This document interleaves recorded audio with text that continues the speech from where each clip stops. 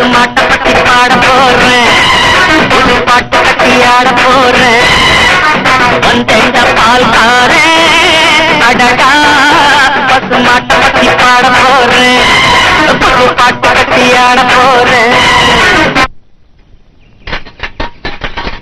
மாமி பால். மாமி பால். இருடாம்பி இதோ வந்துட்டேன் ஏன் மாமி ஒருத்தருக்கே ஒண்ணு நேரம் வச்சிருந்தா மத்த வீட்டுல எப்ப போறது? இல்லடாம்பி ராத்திரி தூங்கறதுக்கு லேட் ஆயிட்டு. அதனால எழுந்திருக்கிறதுக்கு லேட் ஆயிடுச்சு. தூங்குறதுக்கு லேட் ஆயிடுச்சா? என்ன மாமி புதுசா கல்யாணம் ஆன பொண்ணு மாதிரி சொல்றீங்க? ஓடாம்பி எனக்கு வெக்கமா இருக்கு? இருக்காதா பின்ன? கல்யாணம் ஆகி பத்து வருஷம் ஆச்சு. மாமிக்கு இன்னும் வைக்கம் போல. ராத்திரி முழிச்சு என்ன பிரயோஜனம்? ஒரு புழு பூச்சி இல்ல. மாமா வேஸ்ட் ஒரு பாதி பாலாக பிரிப்பது பசுவோட வேலையப்பா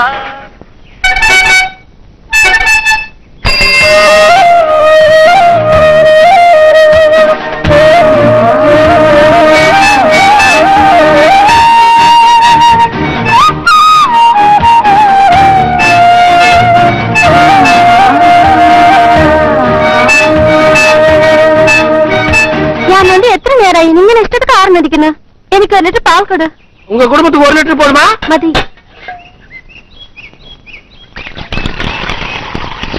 இரு. ஒரு லிட்டர் மதி. இது மீதி எந்த குருவாயிரப்பா? யான் போனால் முக்கா இவ போனா ஒன்னரை.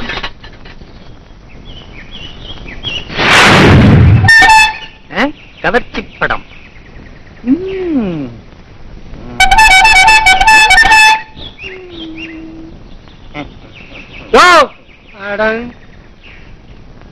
உன்ன மாதிரி நாலு கிராக்கி இருந்தா போதும். தொண்டை கிழிஞ்சிடும் யோ!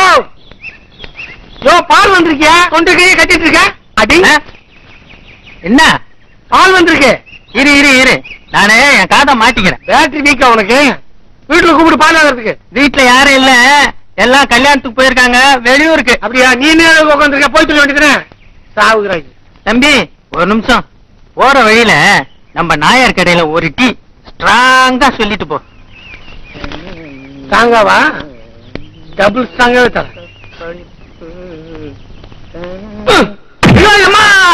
நாளைக்கு உனக்கு பால்.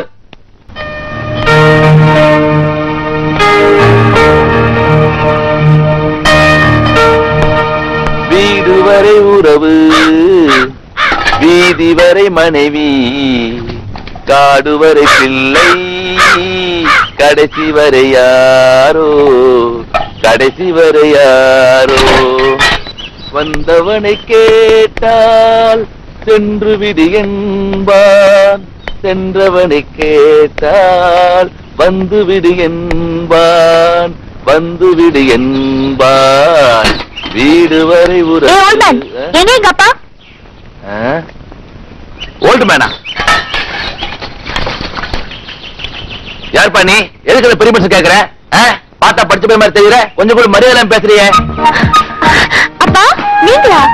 அப்பாவா? என்ன தெரியல? நான் தான் ரேகா மகளே ரேகா நீயாமா ஆ. என்னம்மா இது பட்டணத்துக்கு படிக்க போயிட்டு இப்படி அரையும் குறையமா வந்து நிக்கிறேன் அப்பா இதான் லேட்டஸ்ட் ஃபேஷன் கம்ப்யூட்டர் காலத்துல போய் இத பத்தி பேசுறீங்களே. கம்ப்யூட்டர் காலத்துலயும் பத்து மாசத்துல தாமா குழந்தை பெத்துக்கிறாங்க. மூன்றரை மாசத்துல குழந்தை பெத்துக்கிறாங்க. நீங்க கொஞ்சம் கூட மாறலப்பா. ஏப்பா இந்த வேலையெல்லாம் நீங்க செய்றீங்க? நம்ம வேலையை நாம செய்யறது தப்பே இல்லம்மா. உங்க அம்மாவும் போய் சேர்ந்துட்டா. நீ ஒரே பொண்ணு நீ படிக்க போயிட்ட. இப்ப உங்க வேலையில நான் தான் செஞ்சுட்டு இருக்கிறேன் அப்பா பசிக்குதுப்பா. இன்னைக்காவது போய் குளிமா அஞ்சு நிமிஷம் டிஃபன் ரெடி பண்ணி தரேன். என்னம்மா?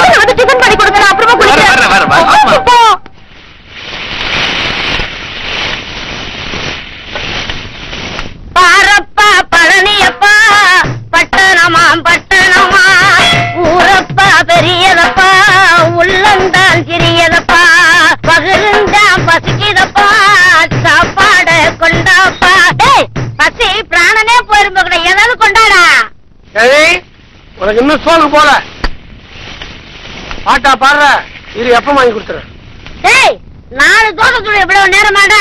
காலைல இருந்து வெறுவரா இருக்கேன். பசி உயிர் போகுது. ஏதாவது கொண்டாடப்படுவா? இரு இரு வந்து ஒண்ணு சொல்றேன்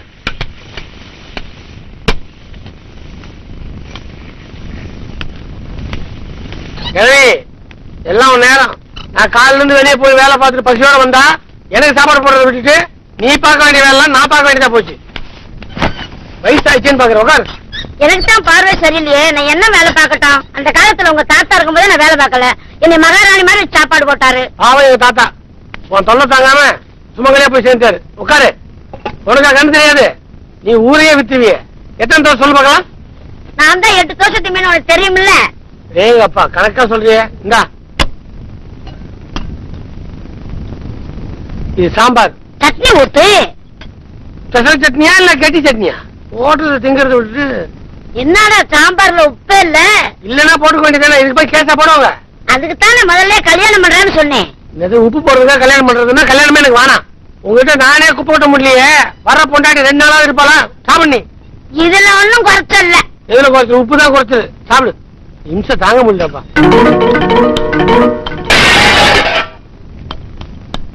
என்னடா சத்தம் கேக்குது? கண்ணுக்குட்டி ஓடுது. வீட்டுக்குள்ள கண்ணுக்குட்டியா? நல்லா வேலைக்கு வச்சிருக்கடா. நீ வேணா மதிக்க மாட்டேங்கிற இவன் வச்சுக்கிறேன். அண்ணே காலையில ஒரே பசி. டேய் தட்டை வை உள்ள இருக்கு போய் தின்னு. நான் என்ன மாடா? போட்டு திங்கிறக்கு வர வர இந்த வீட்டுல மாட்டு கணக்கு வித்தியாசமா போயிடுச்சு. ஏய். மாடாவது பால் கிடக்குது. மாசமான ஒரு ஆயிரம் ரூபாய் மிஞ்சுது. உன்னால என்ன மிச்சான் ஆ. அதாவது அத என்ன சொல்றேன்னா நல்ல குடும்பம் வராது ஆட்டுக்குட்டி முட்டையிட்டு பூனைக்குட்டி வந்ததுன்னு யானை குஞ்சு சொல்ல கேட்டு கதையில்ல சாமி. இப்போ காணுது பூமி. என்ன பால? உன்னை கேட்டனா? இல்ல கட்டை போட்டுக்கிட்டு நொண்டி நொண்டி போயிட்டு இருக்கேன். அதான் கேட்டேன். சாமிக்கு அழகு வச்சிருக்கேன். பாக்குறியா? நொண்டிட்டு போகும்போது கூப்பிட்டியாடா? ஏய் உன்னை வேண்டா கூட்டா போ. தண்ணி ஊத்துறியா? தண்ணி கேட்டதுக்கு பாடுபடுத்துறாளுகளே இந்த பொம்பளைனால எவ்வளவோ சாம்ராஜ் அழிஞ்சுன்னு கேள்விப்பட்டிருக்கேன். ஒரு பொண்ணை சபலப்பட்டு பார்த்ததுக்கு இப்படியா? ஐயோ அந்த ஊசி மட்டும் இடமாத்தி குத்திருந்தா என் நிலைமை என்ன இருக்கும் என் கல்யாண வாழ்க்கை பாதிச்சிருக்கும்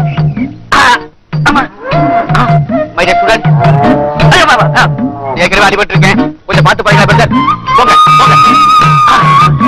இன்னும் ஒரு நிலைமை ஆகல. அவன் நானே கட்டிட்டு இருக்கான். ஆ. எனக்கு தான் பொண்ணு கொடுப்பான் எவனாவது கொடுப்பான் போறேன்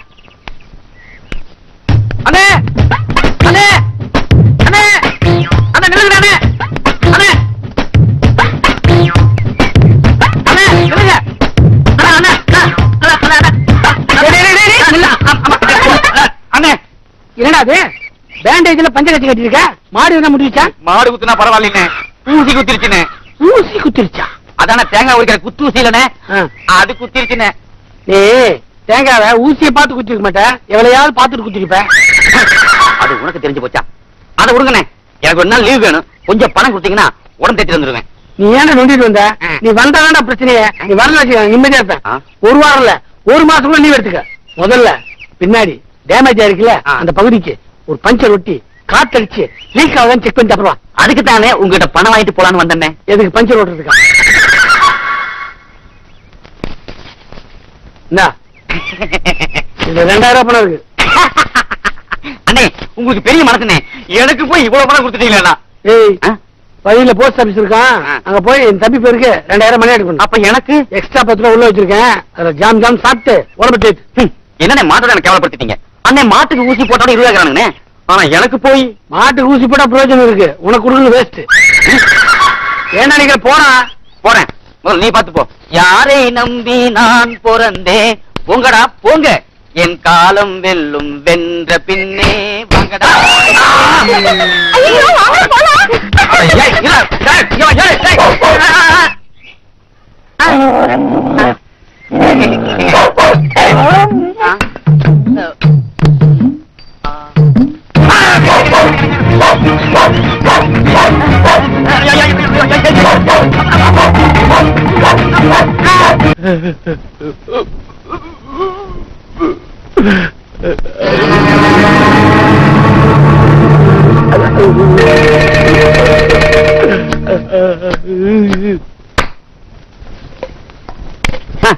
மதியான முடியல சமையல் அழகம் போயிருக்கு முதல் முதல்ல சமையல் பண்ணிட்டு இருக்கல டிஸ்டர்ப் பண்ணாத. சமையல் பண்ணல கத்துக்கிட்டு இருக்கேன். அதான் அது வெட்டி எடுத்துட்டு வா. இதையா.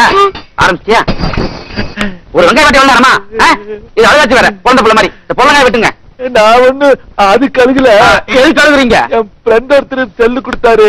செல்லா? அதுல பேசணும்னு ஆசைப்பட்டப்போ. என் பொண்ணு முதல்ல வெங்காயத்தை வெட்டி கொடுத்துட்டு.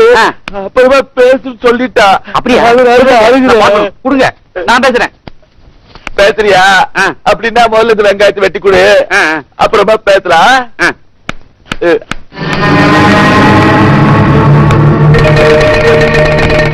வெட்டிட்டேன். செல்ல கொடு. இந்த செல்லு.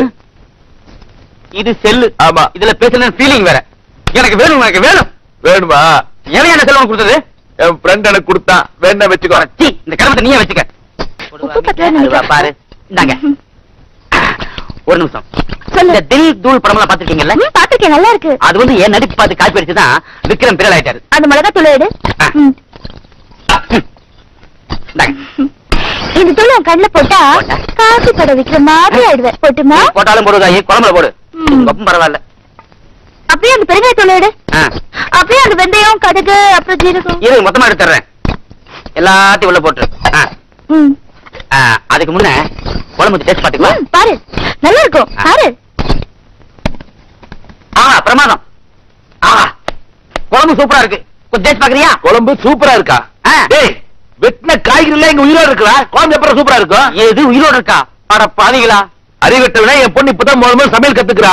அவ தனியா பண்ணிருந்தாலும் நல்லா பண்ணிருப்பா ஒழுங்கா பண்ணிருப்பா எல்லாத்தையும் கூட இருந்து குடிசராக்கிட்டியா இத முதல்ல கொடுக்க வேண்டியது தானே? இதெல்லாம் நீ எடுத்துட்டு போகணும்டா. இந்தா இப்போ ஒண்ணு குறைஞ்சு போகல கொண்டு போய் கொடு. எது? நான் கொண்டு கொடுத்து வாங்கி கட்டிக்கவா. ஒண்ணு பண்ணு. நீ பச்சை சாப்பிடு. சமையல் உட்பட்ட மாதிரி தான். சீக்கிரத்து வீட்டுக்கு வாங்க. முதல் சமைச்சிருக்கேன். சாப்பிட்டு அது நல்லா இது நல்லா சொன்னீங்க. மொத்த சமரையும் தலையில கொட்டிடுவேன். என்ன சாம்பாரா இல்ல ஷாம்புவா தலையில ஊத்துறாங்க ஒண்ணுங்க மேல. பிரிகத்துல சொல்லு நீங்க சாப்பிடுங்க. மாமா எதுக்கும் ஒரு எலிக்கு கொஞ்சம் வச்சு டெஸ்ட் பண்ணுவோமா? அதெல்லாம் தேவையில்லை மாப்பிள. இவன் சாப்பிட்டுருப்பான். நான் அங்கேயே சாப்பிட்டேன். ஒன்னும் ஆகல. நாளைக்கு தெரியும். அப்ப நமக்கு என்ன? நாளைக்கு தெரியுமா? ஏய் சும்மா சாப்பிடுங்கப்பா. போட்டிக்க. ஆ. மாப்பிள என் பொண்ணு சாப்பாடு அவ்வளவு டேஸ்டாவா இருக்கு. ஓ பெரிய மனுஷன் பாக்குறேன். இல்ல தெரியுது. கத்தாங்க ஐயோ பொரியல் மறந்துட்டேன். பாட்டி சமையல் எப்படி இருக்கு? பிரம்மாதம் தெரியுமே. சாப்பிட்டுருங்க இதை வர.